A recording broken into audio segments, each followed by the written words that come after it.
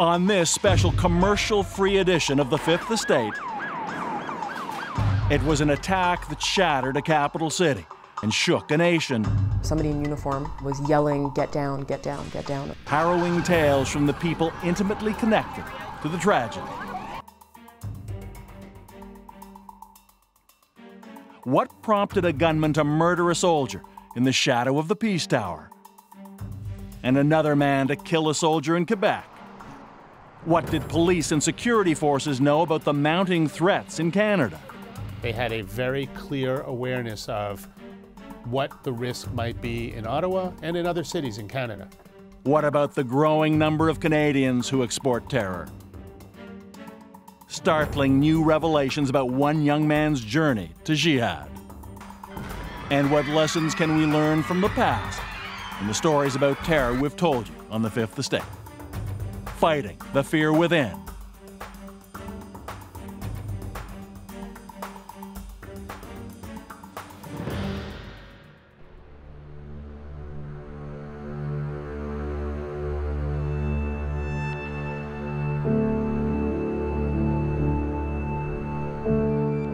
Wednesday, October 22nd, not long after 9 a.m. A clear fall morning in downtown Ottawa as the city begins another day of the nation's business. They didn't know it, but two very different men who'd never met were on a collision course. And both would soon be dead. One of them was Corporal Nathan Cirillo of Hamilton, a reservist with the Canadian Forces, chosen to be an honorary guard at the National War Memorial.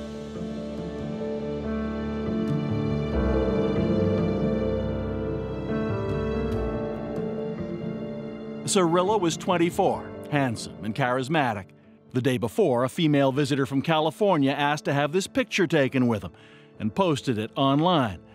It likely wasn't the first time. That morning, another young man from Quebec was also headed to the War Memorial. He too considered himself to be a soldier. His photo would soon be posted on ISIS websites. It would be a few hours before most of us would first hear his name. Nathan Cirillo wanted a permanent military position, but sentries at the cenotaph are mostly ceremonial, so on Wednesday, his rifle was empty.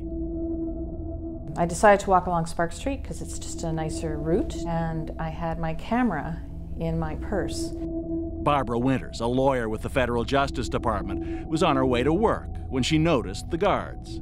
I thought, well, there's a nice picture. So I stopped and I took uh, two or three pictures of the gentleman standing guard, and um, then I carried on.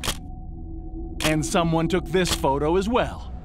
Soon afterwards, Barbara Winters heard the shots. It was 10 minutes to 10.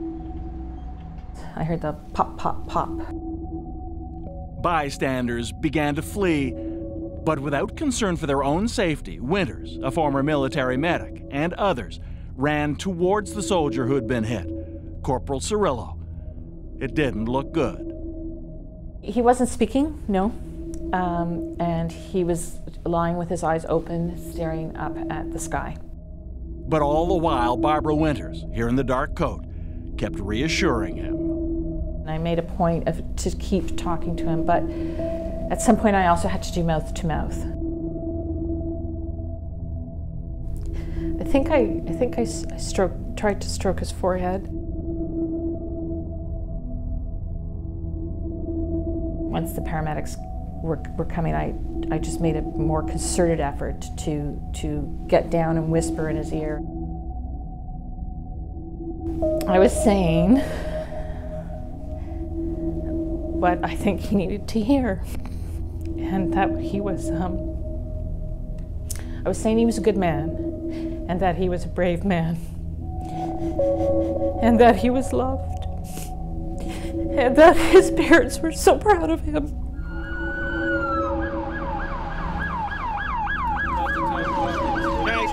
This is a crime scene. Can we please clear the crime scene? Don't compromise the crime scene, please.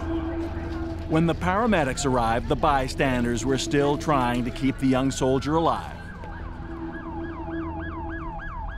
You don't even think about it, right? You're just doing it. And time goes by fast. So every single person in that group had nothing on their mind, nothing but the welfare of that man. Nathan Cirillo was declared dead at the hospital. As the terrible news spread, the RCMP and Ottawa police descended on the War Memorial, desperately searching for the shooter. We will get reports as to what Guys, there is a shooter on the loose. Please move back. Please, we need you off the memorial. By piecing together video from various sources, this is the incredible route the shooter took trying to reach what apparently was supposed to be his next killing ground. Here he is, caught on amateur video, leaving the War Memorial moments after the shooting, returning to the car he'd just abandoned in traffic. It's hard to see on this video, but remember, he's carrying a rifle. After a U-turn, he's now driving towards Parliament Hill and stops right next to the East Block. Watch these three men who've apparently been following the chaos across the street. One approaches the shooter's car, quite possibly sees the gun, and all three of them flee. Then, on this security video released by the RCMP, you can follow the shooter as he crosses the lawn hijacks a car waiting for an MP, then abandons it in front of the center block and walks towards the steps that lead into Parliament. 9.50. Uh, I know the time because I was late for a meeting. Gretel Levy is a press secretary for the NDP. She and a friend happened to be leaving the building at that very same time. A guard, or I don't, maybe a police officer, I'm not sure, somebody in uniform was yelling, get down, get down, get down, over and over. And we still stood there. And then someone, I don't know who, yelled, gun. And uh, that's when we got down on the ground. They were crouching next to the steps leading inside when she caught just a glimpse of his face. She says he had no expression at all, nothing that might attract attention. Nothing struck me. He just seemed like your average guy. But when she saw his rifle, she went into survival mode. I just reacted and put my head down, and then my mind went totally blank. I mean, I of course I knew that's the ramp that goes right into the big, beautiful brass doors in the middle of center block. At that moment, Gretel Levy realized two things that behind those doors were some of Canada's most powerful people, including the Prime Minister, and that someone was about to walk inside with a gun. On Parliament Hill, Wednesday is caucus day when party leaders meet with their troops in the center block. Wednesdays are a day when all the MPs gather for their caucus meetings, so we go because it's a good time to, to get them. Reporters like Josh Wingrove of the Globe and Mail come early to get quotes from the likes of Justice Minister Peter MacKay. The topic of this day, the killing of a Canadian soldier in Quebec by an apparent homegrown jihadi, ironically, just two days before terrorism was top of mind, obviously, in the, in the aftermath of Monday. Josh Wingrove was around the corner from the center block entrance, writing his story, when he heard the bang. And I heard the first bang, and then came another bang and subsequent ones. Gunshots! Gunshots, everybody out! Gunshot in the foyer! No, no, no, no, no! Oh, no, right. You know, screaming, and then poke my head around the corner and you could see smoke in the air, you could smell gunpowder. You could see guards with their guns drawn. Amidst all the chaos, Quebec MP Lysane Blanchette-Lamothe had just returned from maternity leave. She had brought her newborn son to the caucus meeting and was breastfeeding him nearby when the shooting started. Everyone is yelling outside, and I didn't know what to do, so he just told me, hide and and I went in a little uh, phone booth, like one meter by one meter, really small thing, sit on the ground with the baby, and and there I, I, I understood that that was something really wrong happening. Her fear was that if the baby began to cry, the person with the gun might find them.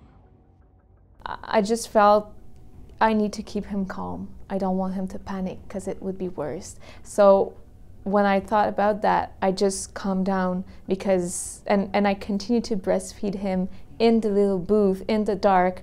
Go, go, go! It was about that time that Josh Wingrove turned on the video feature of his phone. It would be the definitive record of the armed attack on the Canadian Parliament. I mean, uh, it was surreal. It just, it just happened so quickly.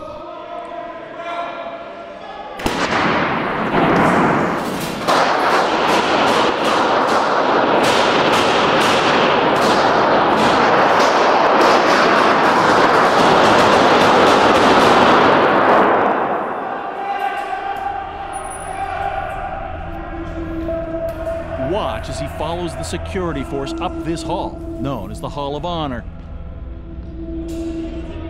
The way they're moving, on the left is a room the Prime Minister is in. Be 200 senators and MPs in that room. And on the right is the NDP room. There'd be nearly 100 MPs in there. I mean, you know, but for a different turn, that could have been where things ended.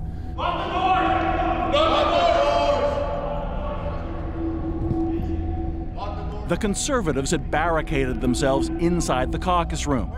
British Columbia MP Bob Zimmer says they didn't know exactly what the threat was, but they resolved to do everything they could to fight it. You want to be there that if somebody's going to come in and try and hurt the people that are close to you, that you're not going to let them in easily. It was a sentiment shared by the parliamentary sergeant at arms, former RCMP officer Kevin Vickers, who during the gun battle outside the Library of Parliament had emptied his pistol at the gunman, later identified as 32 year old Michael Zehaf Bibeau. He died less than 10 minutes after he shot Nathan Cirillo.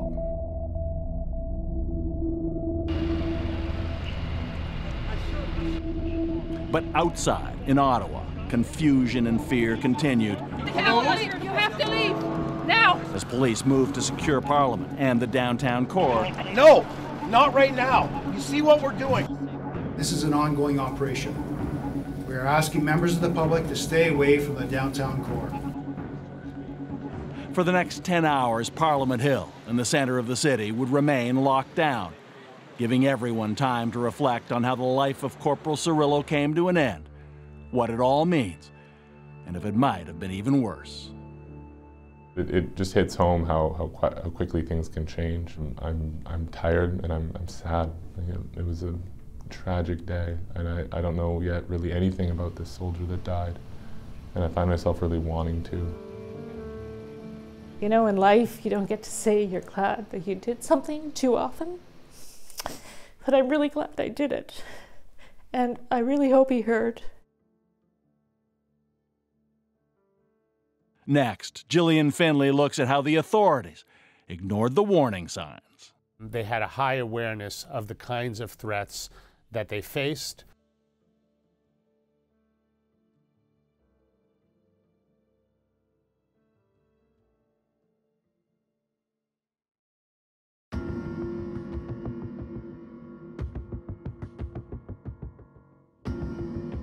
To anyone who saw him that morning, it must have been terrifying. The man with the gun and the deadly intent.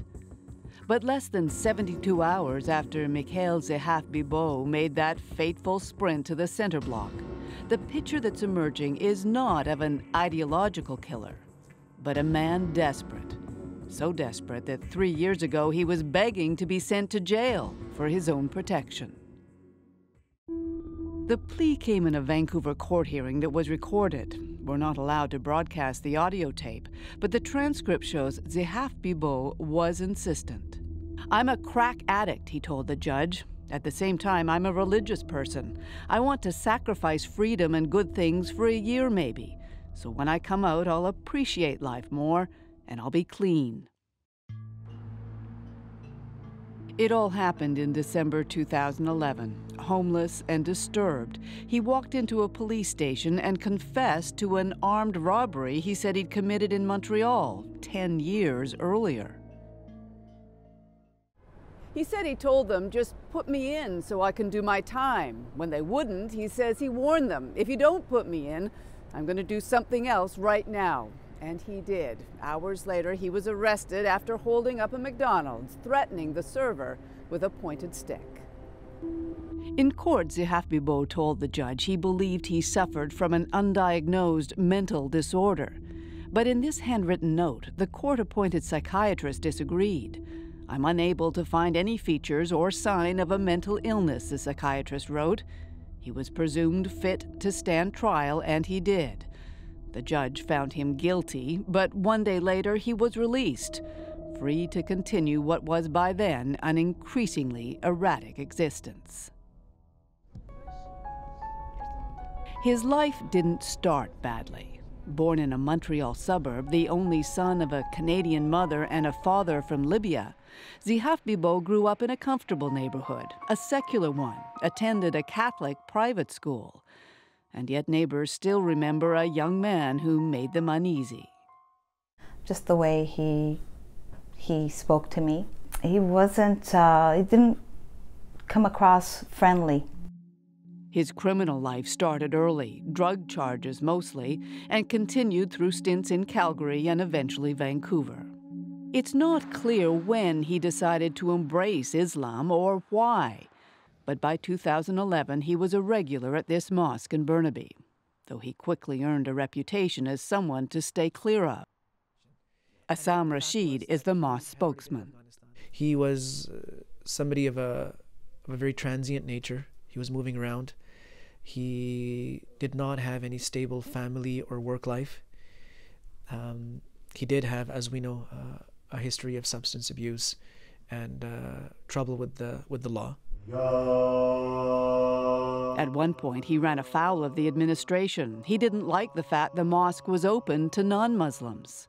He had a problem with that, and um, the administration sat him down and said, look, this is how we work. We would like to introduce people to Islam. We would like to uh, work on common issues with other communities. And in order for that to happen, we have to open our doors to them. And, and we don't plan on changing that policy anytime soon. If you have a problem with it, it's better you go somewhere else. There's absolutely nothing that would have led me to believe he would do this. But Dave Bathurst, an acquaintance during that time, says what Zehaf Bibeau really needed was help he basically was telling me that he feels that the devil's after him and he's had a lot of experiences with the devil. He was uh, concerned that somehow, uh, I can't exactly word him, but I was coerced, coercing him through, the devil was coercing him through me or, or something to that effect. You know, that's not something that uh, a balanced person would say. It wasn't long before he was back at the mosque again, this time making what some have identified as a fateful connection. This man, Hasibullah Yousafzai, also attended the mosque. He would become the first Canadian charged under the new anti terrorism law for allegedly traveling to Syria to join Islamic fighters. It's believed he is still there. The RCMP didn't confirm a connection between the two, but they did say Zehaf Bibeau had at least one link to someone they were concerned about.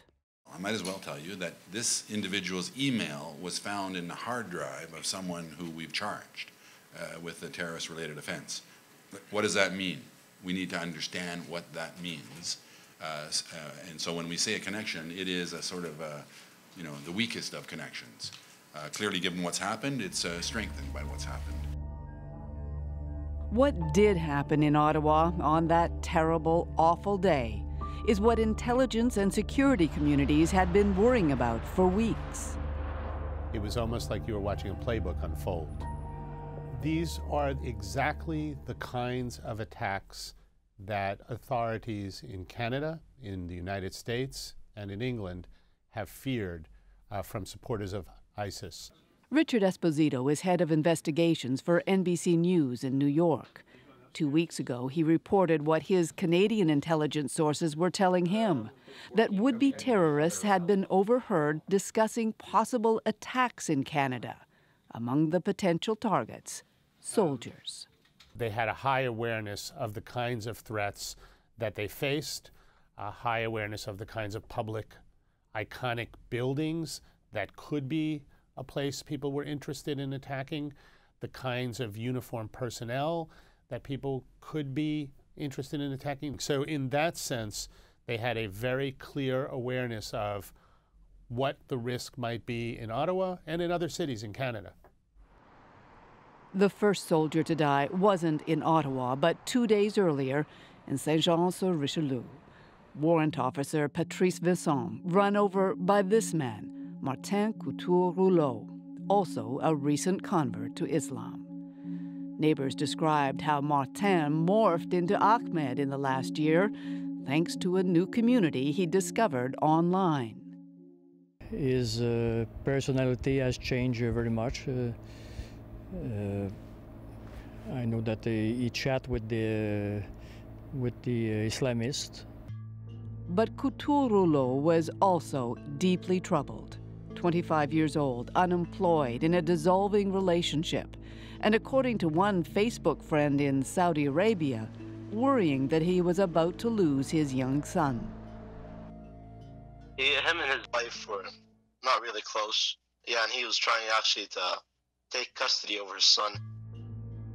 According to court documents, he was also facing bankruptcy. Just last week, he filed an affidavit in which he described his newfound religion as a personal thing, swearing he had no intention of imposing his beliefs on anyone. But that's not how Richard Esposito's sources describe him. I think the man who ran down the soldiers with the car is without a doubt linked to other people who the Canadian government has had an interest in. He says they describe the link as tangential. They have common interests. They talk about, you know, why they support ISIS, for example. Um, but they're not necessarily active. They share the same beliefs to some degree, perhaps. They know the same people. So I'm confident that authorities um, in the US and Canada feel that way, yes. The day after Couture Rouleau killed the warrant officer outside Montreal and was killed himself, the RCMP confirmed it was indeed monitoring him as a potential threat. They had revoked his passport last July and, in a rare display of transparency, revealed that for four months they had been working with Couture Rouleau and his family, trying to change his thinking. And then we saw him the last time on October 9th. Uh, that's when we had a long discussion with him, and when he showed some uh, intention of uh, uh wanted to change a bit and, and try to improve and and um, and do more things than uh, just going and travel. Was there more that could have been done? They'll never know. It's difficult to. Um, to, to do more uh, because we could not arrest someone for thinking, uh, for having radical thoughts. It's not a crime in Canada. But if police couldn't stop the Montreal killer who was on their radar, how could they ever hope to stop the guy they'd never heard of before? Someone like the Ottawa killer, Mikhail Zehaf-Bibeau. We didn't know uh, that this individual uh, was in Ottawa, uh, had that intention, and of course, uh, had we have known that, we all would have acted on that in advance. He was what intelligence experts like to call a lone wolf quiet, deadly, and almost impossible to track, unlike 20 or 30 years ago before the internet. But it was a more uh, visible type of thing. You found a group, you monitor their activity, you know who were members of it, and so forth. Now, with the lone wolf, it could really be anybody. Jeffrey Simon wrote a book, Lone Wolf Terrorism. In many important ways, he says Zehaf-Bibeau fit the profile which is why stopping him was always going to be difficult. It's very difficult to separate who's just venting and who's just, you know, doing a social media thing for the sake of it and those who actually are going to follow through with a terrorist attack. For some who work in Canada's spy agency, if you can't separate them in the cyber world, you're probably better off focusing on the real world. Geoffrey O'Brian is a former CSIS director. Unless we lived in a totally a total surveillance society the authorities would never be in the position to as you say pick up that lone wolf. So what you then rely on i think is other things. You rely on physical protection.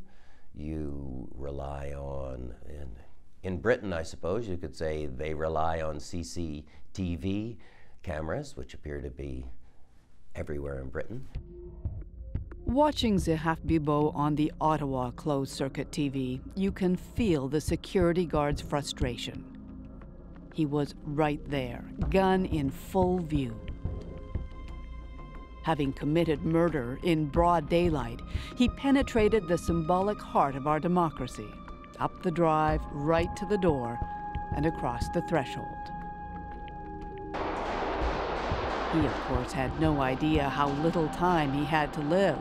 Perhaps we should have known that he or someone like him would be coming, given what Canada had done just two weeks before. Get out of here. 34. I declare the motion carried. It was October 7th. The vote was to join the U.S. led coalition against the Islamic State. Within days, ISIS propaganda named Canada specifically as a country that should brace for retaliation. And yet, the threat level on Parliament Hill remained the same as it had for years, and still didn't change even when intelligence sources in both the U.S. and Canada made it clear how worried they were. That's according to NBC's Richard Esposito. There is a very conscious decision trying to be made among your political class as to whether we're going to tell the Canadian people we have a higher level than we've had before since 9 11 of threat. And I guess no one decided to make that, uh, take that step. Who knows whether it would have made a difference? Whether a heightened sense of danger might have heightened public vigilance around the war memorial? Whether a more robust police presence would have hindered that fateful journey up the hill? Today, the threat level has been raised across the country. An extra 250 officers reassigned to help monitor those Canadians the RCMP fears the most. We are wiser after this week, but safer? That will always be the question.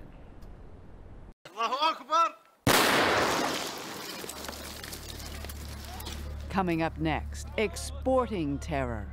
Mark Kelly with new revelations about the latest young Canadian man promoting his violent exploits abroad on the web. They told me you have but one life, so make the most out of it. There is but one death, so prepare for it.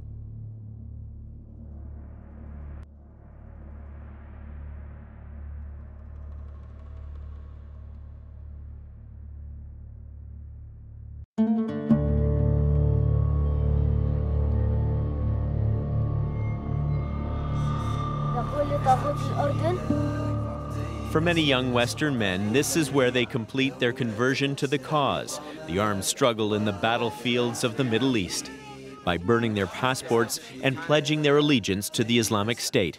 And few have done it so publicly, so provocatively, than Calgary's Farah Mohammed Shirdon. And all the American Tawaghi, we are coming and we will destroy you, bidnillahi ta'ala. That may have sounded like rebel bluster a few weeks ago, but in the wake of the attack in Ottawa, it now has Canada on high alert. The RCMP says there are currently more than 90 people in Canada considered high risk travelers who have shown an interest in going to the battle zones in places like Iraq and Syria. Officials estimate 130 Canadians are now fighting abroad, at least 30 in Syria. This is the story of one of them. His story has never been told before. Along with our colleagues at the Radio Canada program Enquête, we bring you a Montreal man's journey to jihad.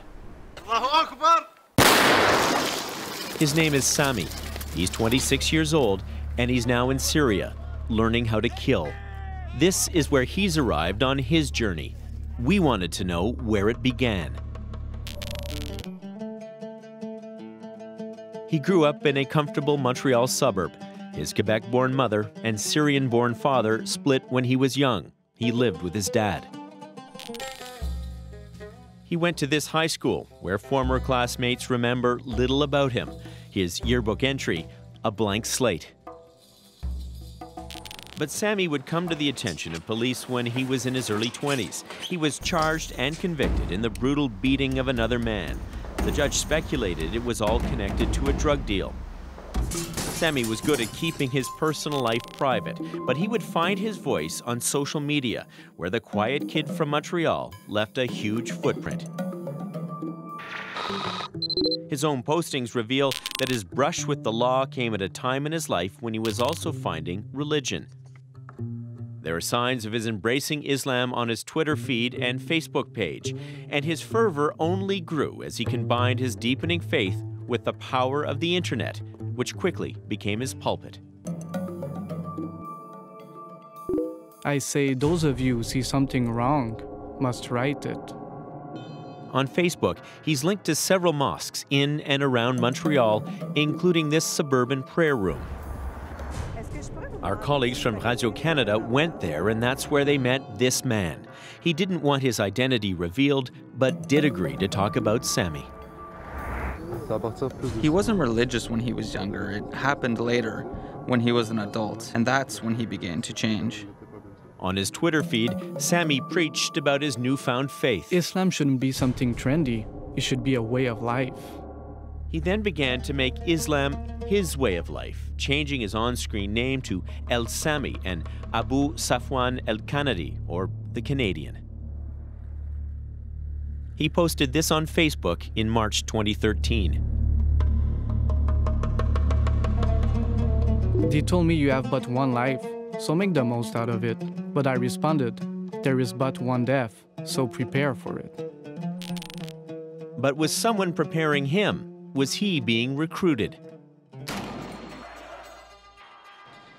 Last year, as the fight against Bashar al Assad's brutal regime in Syria intensified, the call went out to more foreigners to join the rebel cause. Sami was ready to commit to one of the most extreme rebel groups, according to his friend. He was communicating with people, but I don't know who they were. They were in contact online. In 2013, Sami was in trouble with the law again, charged with assault. He was supposed to appear in court, but he never showed up. An arrest warrant was issued, but he was never found until this. Weeks later, on his Facebook page, a picture of Istanbul, Turkey. Turkey is a gateway for foreign fighters who slip across the border to join the battle for control of Syria.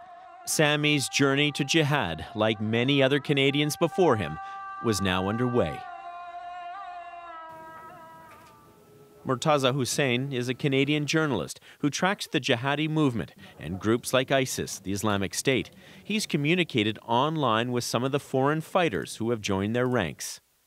I know it's a small group of Westerners that have been attracted to this, but is there a commonality uh, from what you've seen, a pattern that you've seen? Uh, the commonality I've seen is a lot of these guys have criminal histories which are unrelated to religion or politics at all, like in drug involvement, violent crimes, and they seem to come to Islam later in their life, and it's something which, and from their involvement in Islam, they seem to go very quickly into this other sort of radicalized version. And that version is slick and sophisticated. Long gone are the grainy images of Osama bin Laden in a cave. The appeal to jihad is now tailored to the young, by the young.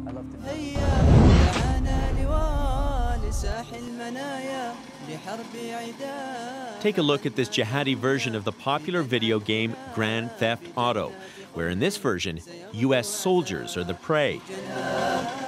They've created uh, movie trailers, they've created video game trailers drawing on Grand Theft Auto and other things. ISIS is a movement of people who, in many instances, grew up in the West and they're part of this uh, postmodern culture we have here.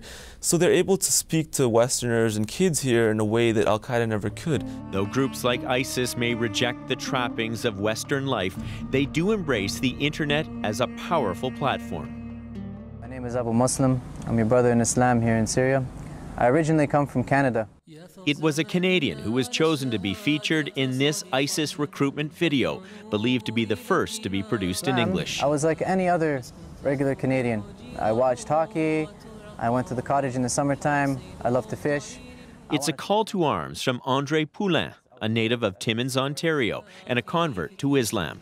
The video is called The Chosen Few of Different Lands. So it's not like I was some social outcast, uh, it wasn't like I was some anarchist or somebody who just wants to destroy the world and kill everybody. No, I was a regular person. It's part of a jihadi online offensive to convince Westerners to leave their dull lives behind them and embrace a higher calling, just like Sami. There's a role for everybody. Every person can contribute something to the Islamic State. Many people will join because they have some sort of frustration in society, but you know, a lot of what ISIS offers is what these uh, transnational movements or gangs have offered throughout history, which is a sense of purpose, a sense of meaning, a sense of camaraderie and belonging. Someone like Andre Poulin, I would say that he maybe saw a life which is greater than a stable, boring life in suburban Canada to be a great hero in Syria, although, you know, I think we most would argue that it was not a very heroic choice he made in the end. Poulin would end up dead, his corpse one of the last images in this ISIS video. And though the jihadi soldiers are dying by the thousands in Iraq and Syria, there are more recruits ready to join. Just this March, Sami, the man from Montreal, was posting pictures and boasting about his battles as a member of Al Nusra, one of the key rebel groups fighting the al Assad regime in Syria. Along with ISIS, the rebel acts of brutality have shocked the Western world.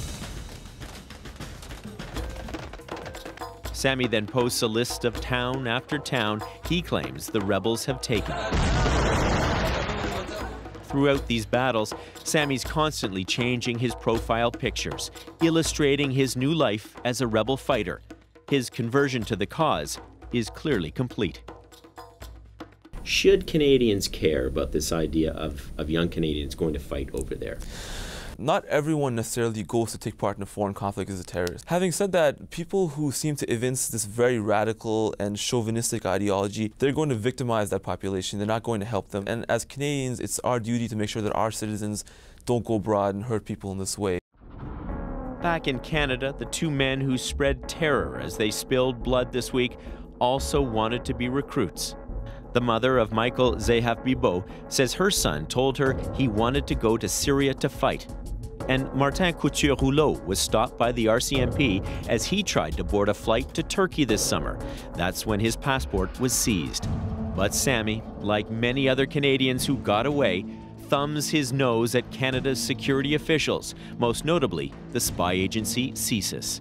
CSIS is in reality BS. They live off Canadian taxes and spend their time hanging around neighborhood mosques or young people Facebook's account. They're a bunch of incompetent clowns. In August, Sami's Facebook account was closed. He's still believed to be in Syria, and if he ever did come back to Canada, he could be charged under the Combating Terrorism Act. In one of his last postings, Sami poses in a luxury hotel room in a Syrian town he says was captured by his rebel group, eager for the next fight. We battled for almost a week to take this town, and now we've gathered at this hotel to prepare our attack on the village nearby.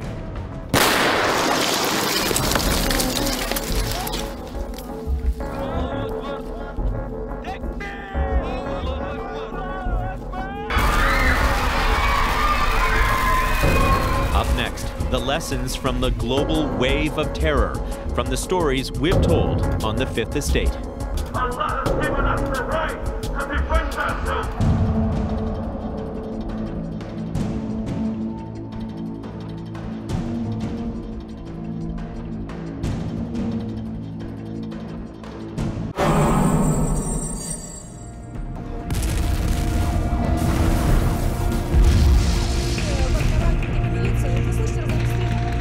They always take us by surprise. The acts of terror by people most of us have never heard of. Our responses rarely vary. Who was he? Or who are they? What on earth possessed them? I'm Linden Macintyre. There's a chilling continuity that links the terrible events of this week with epic acts of violence in the recent past.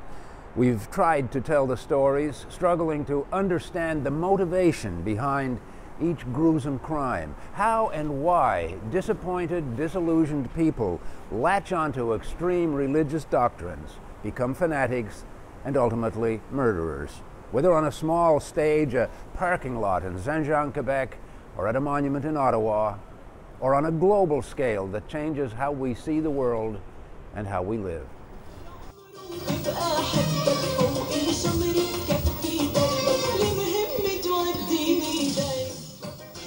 He was known to friends and family as a cool guy, modern, loved to dance, loved to drink. But on the eve of the atrocity that would define decades of the 21st century, nobody knew the real Ziad Jarrah. Even as he partied with his family, he had begun a deadly transformation. And on the 11th of September 2001, he became a mass murderer. Part of a terror team that hijacked airplanes in America. His would crash in a farmer's field in Pennsylvania. Nothing left but a gaping hole and a mystery that would perplex the world and no one more than the members of a family to whom he had become an alien. His roots were here, Lebanon's Bekaa Valley. He was scheduled to return here to be married. His father's wedding gift, a new Mercedes, awaited his arrival. When we met his uncle Jamal in the weeks immediately after 9 11, he was in a state of hopeful disbelief. There is nothing that you could lead you to suspect that Ziad could be connected to this. Anything political in, about him? Uh, he never cared about politics. Religion? No. He wasn't interested? He was interested. He was not interested in religion. He's ambitious, um, the, the kind of sociable one who wants to to get to know everybody, to social, socialize with everyone. He was a happy boy. The change from happy boy to ruthless killer started far away from Lebanon. But even as he left his homeland in 1996, he was the same carefree Ziad to his family and his friends. Hamburg, Germany. Hamburg had a Muslim population of 100,000 people. A small minority felt alienated, hostile to European values. But Ziad wasn't one of them at first. He seemed to fit in. Religious Muslims regarded him as wishy-washy about his faith.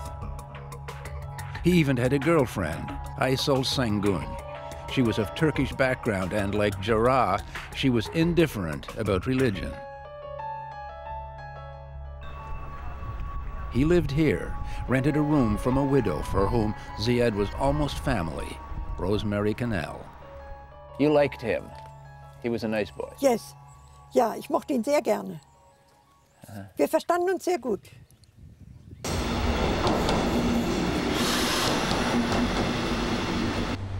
Over time, though, he would change, become mysterious. He'd spend weekends in a Hamburg suburb, Harburg. He'd take a train to this railway station. From here, he'd walk or take a taxi, the short distance to a house known as a hangout for an extremist clique, led by a grim Egyptian named Mohammed Atta. People who cared about him became worried. His landlady and his girlfriend, Aysel, who told Rosemarie that his newfound piety was getting in the way of their relationship. What, what did she tell you about his, his religion? Und dann äh, sagte, äh, erzählte sie mir eben, dass sie eben äh, ähm, gemerkt hat, dass er jetzt sehr viel mehr betete. Und Mhm. das erstaunte sie und äh, konnte sich das aber auch nicht erklären. Und He was, he was Ja. becoming more er religious. betet mehr. Ja, ja, ja, ja, ja, ja. Und er zöge sich auch manchmal so einen so einen Überwurf an. Das hat er auch zu Anfang nie gemacht. Und dann hatte er mir jetzt letzten Weihnachten, schenkte er mir, schenkte er mir einen deutschen Koran. In the fall of 1999, he dropped out of sight, abandoned his studies, and he began the final transformation that would lead to this. A transformation that even 13 years later, no one can explain with any certainty. From callow youth to political fanatic to callous killer. In the aftermath of 9 11, its epic scale and global impact, the backlash against Islamic extremism, the invasions of Afghanistan, Iraq, it was tempting to believe that even the fanatics were reconsidering their tactics. But it would soon be clear that the grievances behind the acts of terror were deeply rooted, and they'd soon bear bitter fruit in Europe.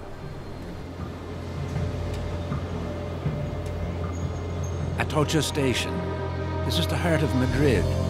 March 11, 2004, at 7.30 in the morning, as four trains converged on the crowded platforms,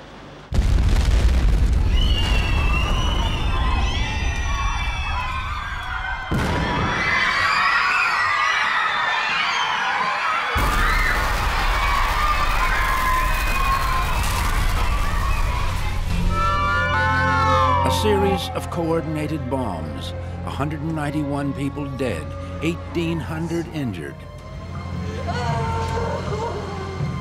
In the aftermath, familiar questions. Who? Why? How?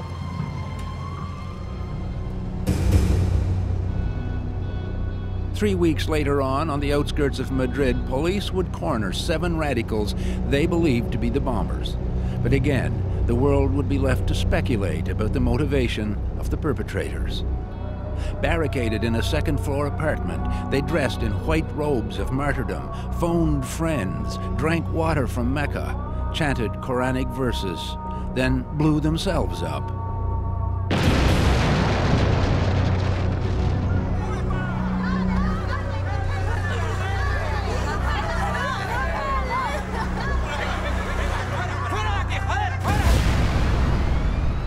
Less than a year later, July 7, 2005, in London, the now familiar images, the aftermath of violence that always seems to catch the public by surprise, calculated to kill and terrorize, to make a point the perpetrators rarely bother to explain. Finsbury Park, north of London.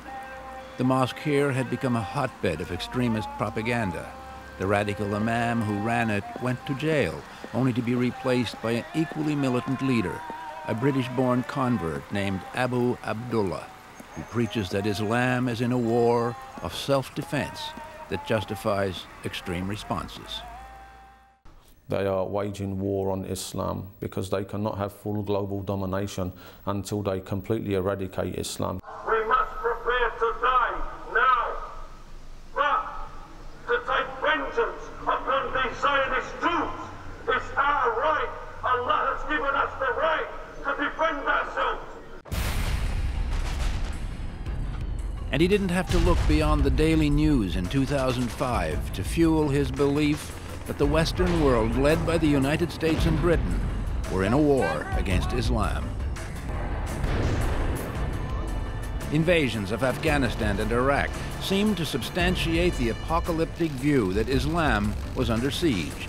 The response, a call for militant jihad, which only caused the politicians in the West to dig in deeper. We will finish the historic work of democracy in Afghanistan and Iraq so those nations can light the way for others and help transform a troubled part of the world. Stirring words in America, but for Syria's analysts in Europe, it was all naive bravado. When you listen to our American friends, building a nation is like uh, spending a weekend to improve your tennis style or your golf thing, and it's not like that, you know. It was a message that resonated in unexpected places, even with a former head of a CIA section dedicated to tracking and killing those responsible for 9 11, Michael Scheuer. We're being attacked because of what we do, not because of who we are. And by refusing to talk about that, I'm afraid uh, the American people, at least, don't have a good idea of just how dangerous the threat is that we face. We have not destroyed Al Qaeda, so we still have that to worry about. We have its traditional allies, the groups that are operating now in Iraq. And now we have a third uh, tier of threat amongst the, the Muslims that live in the West and who are inspired to do something against the West by the example of the other two tiers. Toronto, June 2006. If Canadians felt immune to what seemed to be a global trend, complacency was about to be disturbed. Toronto the Good suddenly seemed like all the other places in the world where bad things happen. Young Toronto area Muslims were anything but radical, but secret agents had been watching some of them for nearly four years. They lived in homes like this one, were nurtured in the spacious comforts of suburbia. 18 of them were accused of plotting terrorist attacks on targets in Toronto and Parliament and politicians, including the Prime Minister. Unlike 9 11, unlike Madrid and London, this conspiracy would go nowhere. This one was tightly monitored from the outset and in the end would be dismantled by a member of their own generation, their own community. Mubin Shaikh got wind of it. Newly radicalized young men were plotting something. He knew where they were coming from. He related to their piety and understood their anger. But he also knew where it would lead. I'm a fundamentalist, man. I'll put the the fun in fundamentalist. Just because I'm all for Sharia law doesn't mean I'm all for blowing up buildings in downtown Toronto. Mubin Shaikh could easily have been one of them. He fit the profile. He was into martial arts. He admired the military, a tough guy in the gym and on the streets. He'd been into drugs and booze, but became disillusioned with the pointless fun. Like I've done it all. Acid, mushrooms, like I got five tattoos, 12 self-inflicted cigarette burns. Uh, when I was sober, doing all this. Then a moment of epiphany. I got burned out. That's what happened. The fast lane was too slow. I was living in the passing lane. And, uh, you know, when you're going at that speed and that intensity, you burn out, you know. I mean, a, a Christian would say you were born again. Yeah. Can you identify with that? I can relate to it, um, the concept of born again, and I understand it in the Christian context. And it's similar in the Islamic context in that there was a reawakening. A reawakening that could easily have gone the other way. He could have been corrupted by the internet images that hijacked the minds of 18 young people in Toronto. Instead, he worked with law enforcement agencies to stop them. But he understands the outrage of extremists. Let's admit that there's a problem. Yeah, we're interfering in people's countries a little too much. We're imposing our way of life on people a little too much. People tend not to like that. And so kids who are here, they see that and they see, look, you know what? My government is being hostile to my people. So it's very easy for this person to say, you know what? I will reciprocate the hostility. Mm-hmm. But it's interesting the phrasing there. My, my government is being hostile to my people. Right. Even though your people live in Yeah. a country you've never seen. Exactly. Don't speak the language, I may not, but I know that they're Muslim and that's enough for me. Right? And with the again adding those factors, the variables of youth, anger, prone to anger, prone to irrationality, that's just that's a powder keg waiting to be lit.